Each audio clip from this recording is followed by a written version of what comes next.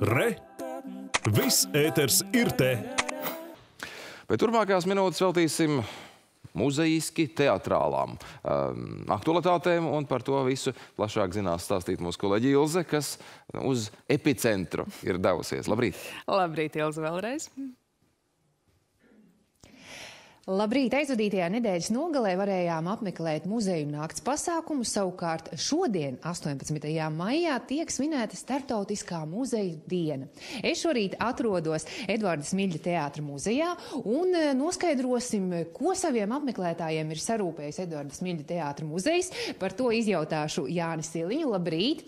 Savukārt Kristaps Zariņš, Latvijas Mākslas akadēmijas rektors un profesors, pastāstīs par kādu īpašu dāvanu. Bet Par to nedaudz vēlāk.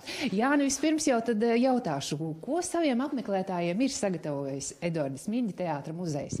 Jā, vispirmām kārtām visus muzejniekus, visus sabiedrības sveicu Startautiskajā muzeja dienā.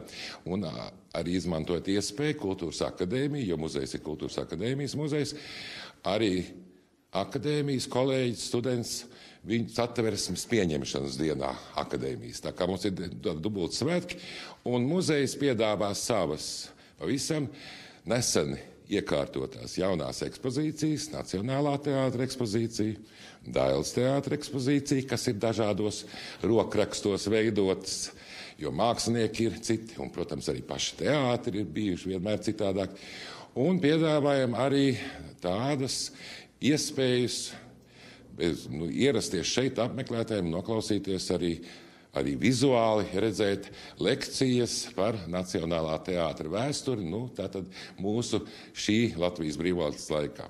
Nu, tātad tādā dažādā komplektā. Tad var teikt, ka tāda svētku noskaņa jau valda jau šobrīd no rīta. Protams. Jo tāpēc, ka tas ir atļauts no desmitiem rītā nāk līdz pat desmitiem vakarā. Jā, Startautiskā muzeja diena tiek svinēta kopš 1977. gada visā pasaulē, bet ko šīs dienas atzīmēšana nozīmē muzejiem Latvijā?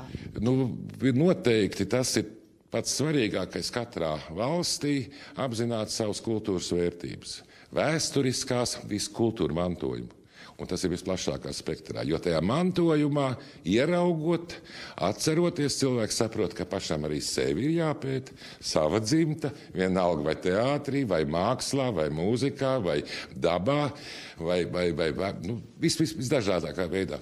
Un viņš tur atrod savus ierosmes. Jā, un muzejs ir ļoti laba vieta, tātad šeit izziņai arī ļauties. Šobrīd eh, sarunā iesaistīšu Kristapu Zariņu. Pastāstiet eh, tad eh, par šo te īpašo dāvanu, kuru šodien plānojat pasniegt Eduarda Smilģa teātra muzeja. Nu, labrīt, šī dāvana ir šeit pie sienas redzama. Tas ir Lidijas Freimans tāds trimo, kā, kad aktieri krāsojās pirms izrādes trīs uh, tie spoguļi, kur var apstīt sevi no visām pusēm, jo aktierim ir jāpārtop, un uh, mans tēvs, uh, gleznotājs Induls Zariņš, ir gleznojis ne tikai sevi, kā to dara daudzi gleznotāji, bet ļoti daudz uh, Latvijas kultūras uh, cilvēks, tā skaitā Freimans kundzi, Kārli Auškāpu, Žurginas kundzi un vēl uh, daudzus uh, Branta tēlotāju gariem matiem strengu. Un, uh, nu jā, daudz un uh, ar prieku nākšu skatīties, kā ciemiņš uz savu tēva gleznu.